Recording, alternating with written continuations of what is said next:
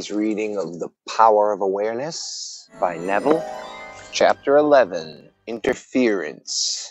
You are free to choose the concept you will accept of yourself.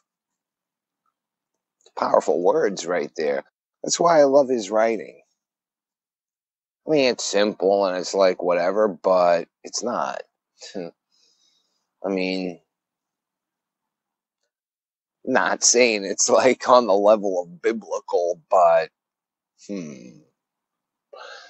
This sort of writing is something that you can ingest again and again and again and again and still have new thought bombs exploding in your awareness, revealing all sorts of shit you never thought of before. Seeing new connections, finding new layers of wisdom even if it's created out of your own imagination, right? I mean, right? So you are free to choose the concept you will accept of yourself. There's so much bundled in there. Let's unpack it. You accept concepts of yourself. That right there just says something. Like you accept them. It's you. What do you accept of yourself? Whatever you whatever you believe.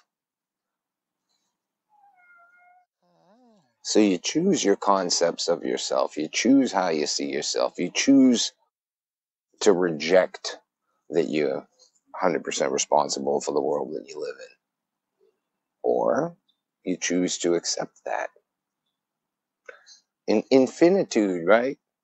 The Father, the Son, the American, different layers of the one cause substance, the one I am, right? You, you, I am, you are free to choose the concept you will accept of yourself, right? So therefore, you possess the power of intervention, which enables you to alter the course of your supposed future. That's not what he says. He says alter the course of your future. But if you're altering it, because most of future would be supposeds, right? Mm-hmm. The process of rising from your present concept to a higher concept of yourself is the means of all true progress the higher concept is waiting for you to incarnate in the world of experience. It's your future self beckoning to you in the now, right? Now unto him that is able to do exceedingly abundantly above all that we ask or think, according to the power that worketh in us. Unto him be glory him that is able to do more than you can ask or think is your imagination. And the power that worketh in us is your attention. Understanding imagination to be him that is able to do all that you ask or think, and attention to be the power which you create your world you can now build your ideal world. Imagine yourself to be the ideal you dream of and desire. Remain attentive to this imagined state, and as fast as you completely feel that you already are this ideal, it will manifest itself as reality in your world. Now, I, I chewed on that. I kind of thought how almost everything I read by Neville seems to be answering things and clarifying.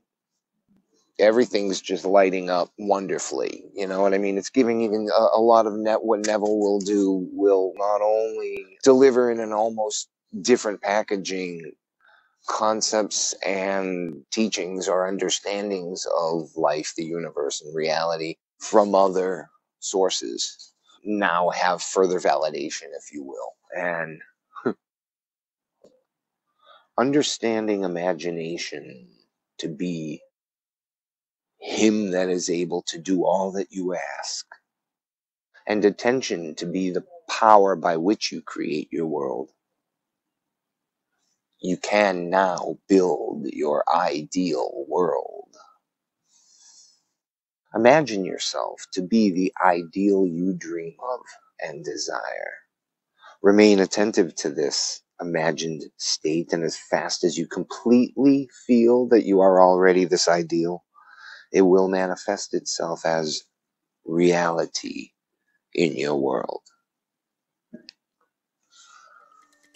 And I thought The Secret, The Law of Attraction, that whole thing about a time buffer, Joe Vitale even mentions it. You remember the, the scene of the elephant taking a dump in the living room? Yeah. So I thought out of everything that I get from Neville, which is brilliant on its own, let alone for whatever this time around, third time around. Profound.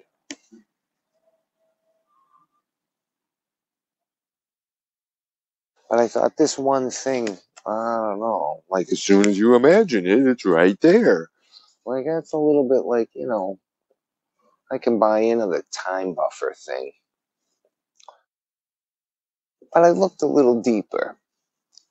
And he's not talking about an African safari. He's not talking about that nice new shiny bicycle, right? He's talking about the ideal self manifested. That's you. That's you. That's up here. That's consciousness. It's awareness. It's your mind. It's your emotions. It's you. It's you. It's not about the bicycle or how it was attained. It was not about the safari or elephant poop.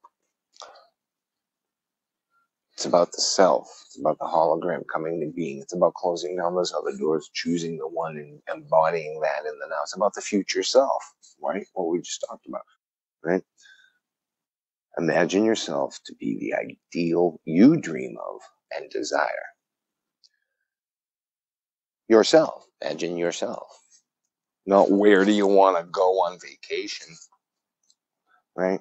Not what kind of rig do you want to sport with the neighborhood kids, right? He was in the world and the world was made by him and the world knew him not. The mystery hid from the ages. Christ in you, the hope of glory. The He in the first of these quotations is your imagination. As previously explained, there is only one substance. This substance is consciousness. It is your imagination which forms this substance into concepts, which concepts are then manifested as conditions, circumstances, and physical objects. Thus, imagination made your world. This supreme truth, with but few exceptions, man is not conscious of. The mystery hid from the ages. Christ in you, the hope of glory. You are God. You create world, man. There is something to be said for the truth and the sincerity of this whole 100% responsible thing. You know, I know Neville doesn't really mention it a, a, a whole lot, but that's exactly, I mean, what it is. The he in the first of these quotations is your imagination. As previously explained, there is only one substance. This substance is consciousness. It is your imagination which forms this substance into concepts, which concepts are then manifested as conditions, circumstances, and physical objects. Thus, imagination made your world. This supreme truth, with but few exceptions, man is not conscious of. The mystery, Christ in you, referred to in the second quotation, is your imagination by which your world is molded. The hope of glory is your awareness of the ability to rise perpetually to higher levels. Christ is not to be found in history nor in external forms.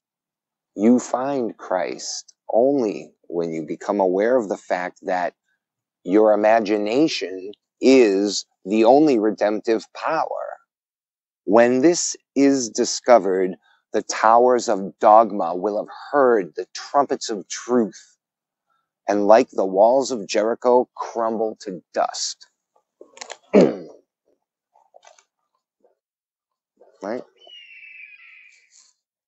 There it is.